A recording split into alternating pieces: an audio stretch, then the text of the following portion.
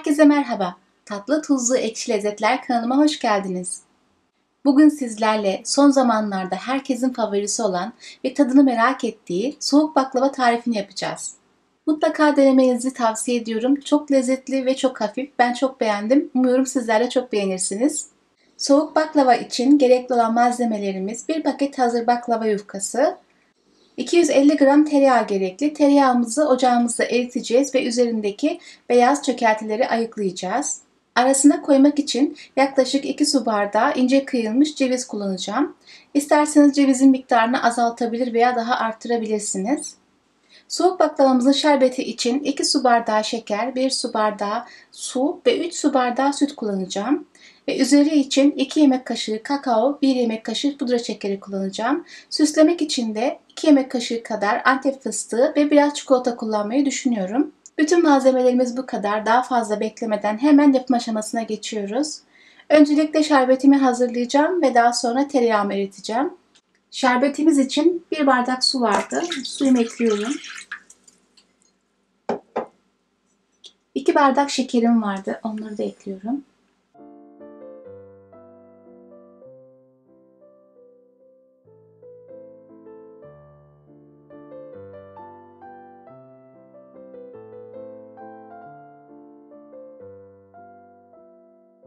Şerbetimizi çok fazla kaynatmıyoruz. Kaynadıktan sonra 5 dakika kaynaması yeterli. Bir taraftan tereyağımızı eritiyoruz. Tereyağımızın üzerinde oluşan bu beyazlıkları, yoğurt çökeltilerini ayıklıyoruz. Eğer bunları ayıklamazsak daha sonra baklavamızın üzerinde siyah yanıklar oluşmuş olur ve bu hoş bir görüntü olmuş olmaz.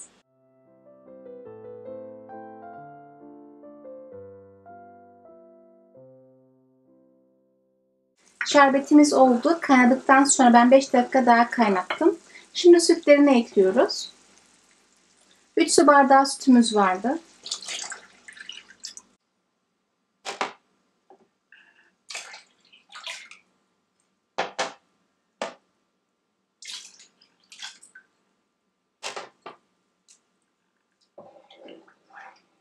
Şimdi şerbetimi kenara alıyorum. Tekrar kaynatmayacağım. Ilması gerekiyor. Baklavamız ilk sıcaklığı geçtikten sonra e, soğuk olan şerbetimizi baklavamızın üzerine dökeceğiz. Baklavalık yufkamızı açıyoruz. Ben 470 gramlık bir yufka kullandım. İçinde kaç tane var bilmiyorum. Bazen değişebiliyor sayıları. Ama gram olarak 470 gramlık bir paketti.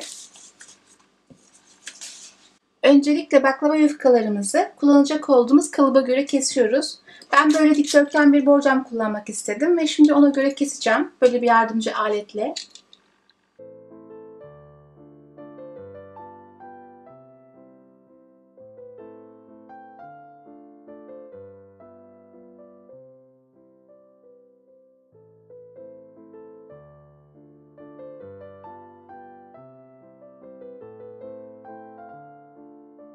Kenarından çıkan parçaları da baklavamızın ortasına yerleştireceğim. Onları da kesiyorum kolaylık olsun diye. Öncelikle borcamımızın en altına biraz tereyağı sürüyorum.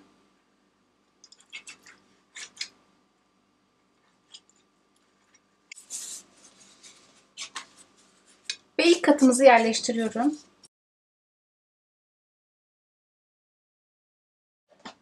Her ikinci katta tereyağı sürüyoruz. Yani iki yufka tereyağı, iki yufka tereyağı. Bu şekilde devam edeceğiz.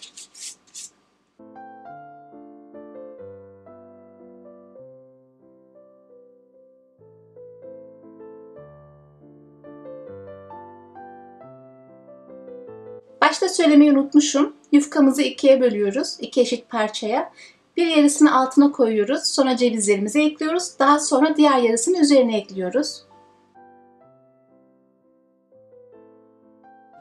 Bu aşamada kenarından kesmiş olduğum yufkaları da içine ekliyorum.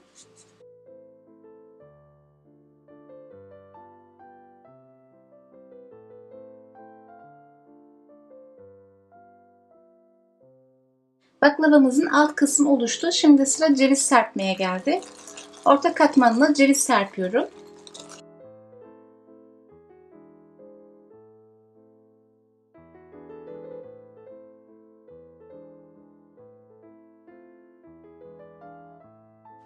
Vermiş olduğum ölçüden bu kadar cevizi geriye bırakıyorum. Bir buçuk bardak ceviz yeterli geldi.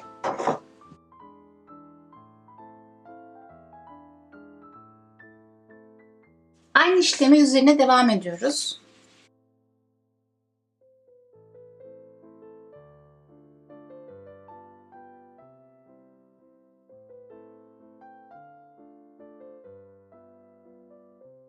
Kalan yağını en üst katına sürüyoruz. Bu şekilde dilimlememiz daha kolay olacak.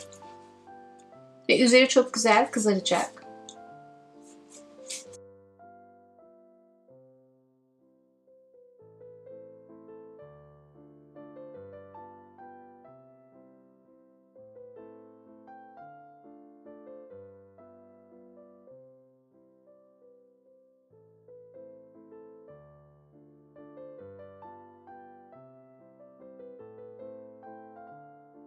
Soğuk baklavamız fırına gitmeye hazır. Fırınımız önceden ısınmış olsun 180 derecede. Yaklaşık 50-55 dakika fırınımızda kızarıncaya kadar pişireceğiz. Soğuk baklavamızın üzerine koyacak olduğumuz kakaomuzu ve açmak için pudra şekerini karıştırıyoruz. Pudra şekeri kakaomuzu yumuşatacak.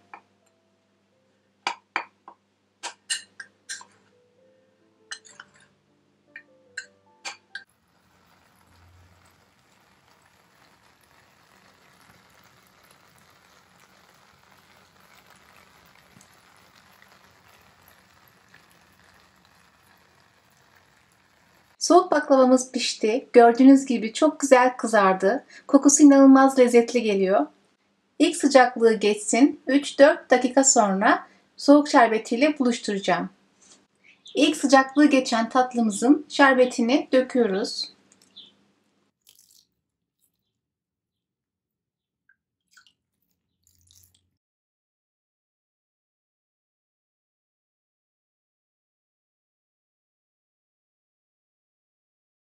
Şerbetini çeken soğuk baklavamızın süslemesini yapıyoruz. Bunun için 2 yemek kaşığı kakao ve 1 yemek kaşığı pudra şekerini karıştırmıştık. Yumuşatmıştık kakaomuzu böylelikle.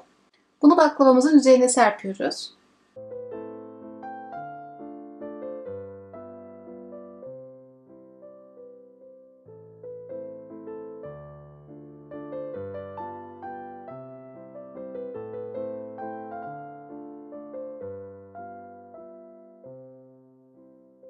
Son zamanlarda herkesin soğuk baklava diyerek dilinden düşürmediği tatlımız bitti. İnanın çok lezzetli. Soğuk baklavayı biz çok sevdik. Umuyorum sizler de çok seversiniz, denersiniz. Normal şerbetli tatlılar kadar ağır, ağır değil ama bir o kadar da çok lezzetli. Unutmadan şunu da eklemek isterim ki soğuk baklava sütle yapıldığı için mutlaka buzdolabında saklanması gerekiyor. Diğer şerbetli tatlılar gibi dışarıda bırakmamız sağlık açısından uygun olmayabilir.